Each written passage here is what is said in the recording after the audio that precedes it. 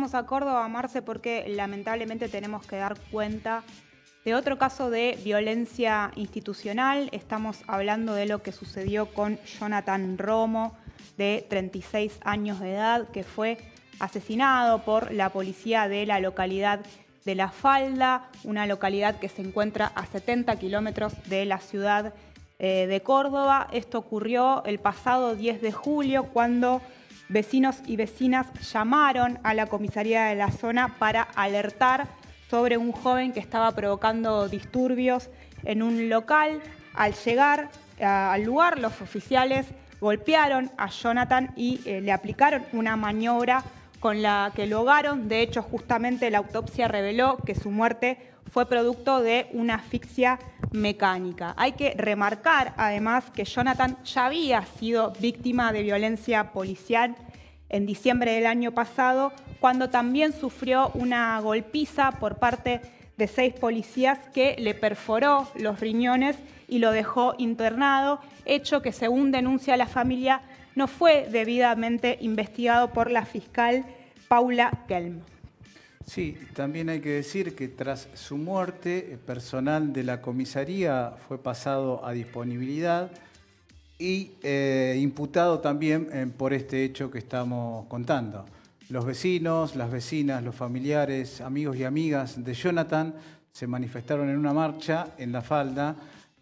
por el tema de que tienen que profundizar, reclamando que profundicen la investigación. Cabe destacar que no es el primer hecho que ocurre de estas características en Córdoba y eh, tanto el gobernador como la justicia no dan respuestas eh, a este tipo de violencia institucional. Así que, para hablar de este tema es que estamos en comunicación con Mariluc. Ella es de la Mesa Provincial de Derechos Humanos, coordinadora de la Comisión de Violencia Institucional. Mari, te damos la bienvenida, eh, te agradecemos por tu atención y eh, en principio quisiéramos que nos cuentes cómo fueron los hechos que sucedieron el 10 de julio. Bueno, ustedes, buenas noches y gracias por la comunicación. Eh, eh, ustedes describieron bastante bien lo que pasó y también como insinuaron en un momento, no es la primera vez que pasa que en Córdoba eh, hay víctimas de gatillo fácil o que hay muertes dentro de la comisaría o por causa policial. nosotros lo que hemos ido marcando a medida que nos formamos como Comisión de Violencia Institucional, nos comunicamos con las familias y a partir de ahí eh, logramos de alguna manera organizarlos, pero eh, muchos de ellos estaban organizados, pero los nuevos casos se suman a esa organización de las familias y lo que hacemos como mesa y como Comisión de Violencia Institucional es acompañar y por supuesto nos vamos enterando. Entonces,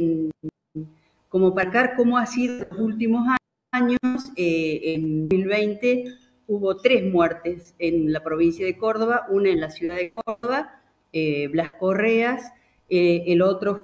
municipio del, en el inicio de José Ávila, que los días se está dando y hay policías implicados y antes de fin de mes se daría el veredicto. Eh, el mismo año también se mató a Joaquín Paredes,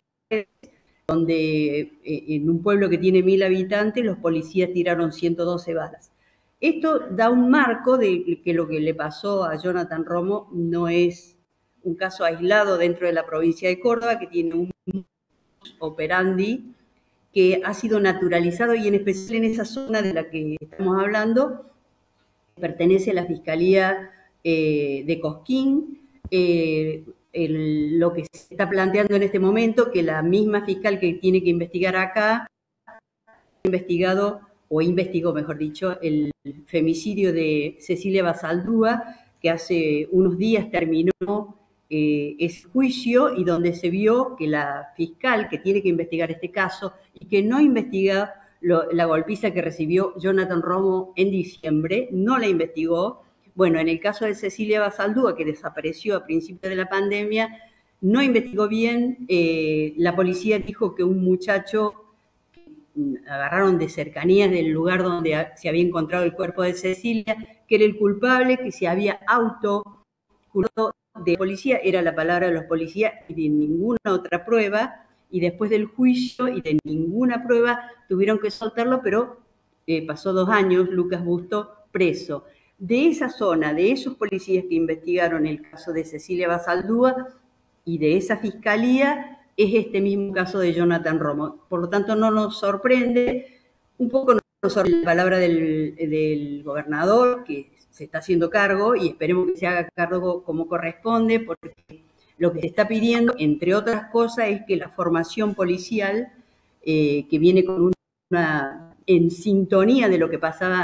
en la dictadura militar, que cambie. Es decir, la formación de los policías que en algún no todos por supuesto, pero en la zona de Punilla parece que es así, naturalizan matar a ciudadanos. En la provincia de Córdoba pasa, no solamente en Punilla. En este momento se está cuestionando seriamente porque ha habido una connivencia entre el Poder Judicial y con esta fiscal en especial, Paula Kelm, y con el, comisario Bracamonte, que, en su momento estuvo al frente de la comisaría de Capilla del Monte. Lo que estamos pidiendo es eso, que el ministro de Seguridad que tomó esta decisión de adaptar a Bracamonte, policías que hicieron esto con Jonathan Romo, que bueno, no solo haya una depuración, sino que la formación de los policías cambie y que deje de haber tortura dentro de las comisarías y las cárceles de Córdoba.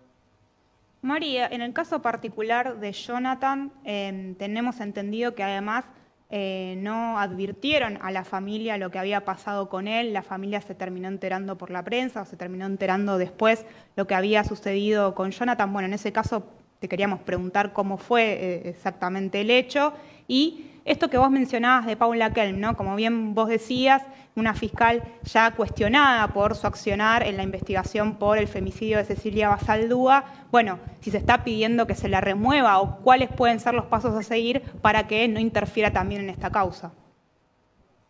En el caso de Cecilia, de Paula Kelm,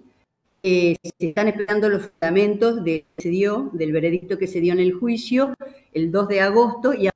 partir de la familia, los papás de Cecilia, también las organizaciones y por supuesto las creyentes y también el, abogado que estuvo presente por los apremios ilegales de la Secretaría de Derechos Humanos de la ONU, van a pedir, en base a los fundamentos que haya, el juicio político de Paula Kelm y eh, van a pedir también que los, eh, eh, los policías que estuvieron diciendo todo el tiempo, que en un momento fueron como siete u ocho, que dijeron que ellos habían escuchado que el chico se había autoincriminado, bueno, todos ellos eh, haya como un tribunal,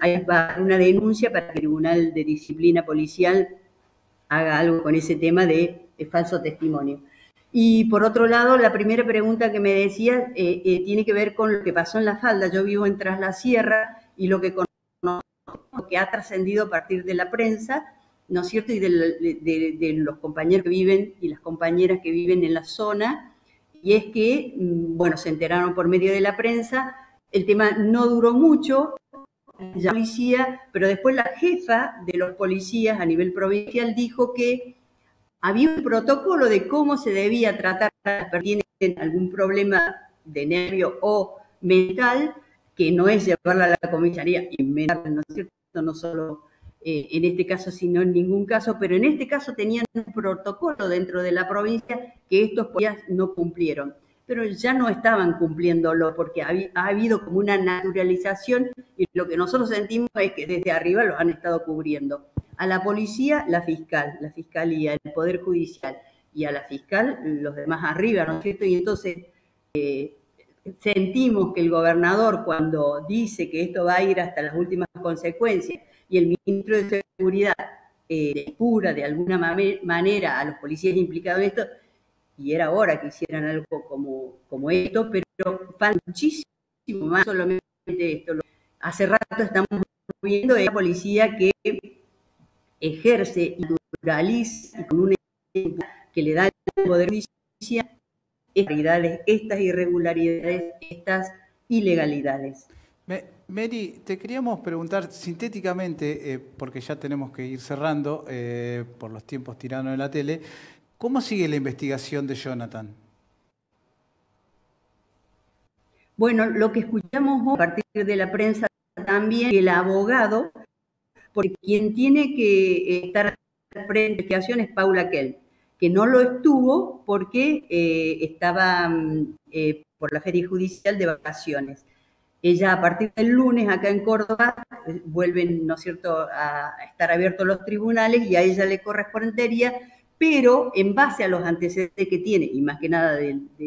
del caso Basaldúa, pero en el caso de Romo también por no haber investigado en diciembre, el abogado querellante de la familia de Romo ha pedido que no esté al frente de la investigación. Y eso es también porque hay una ciudadanía, hay organizaciones que están mirando y bueno, ya nadie,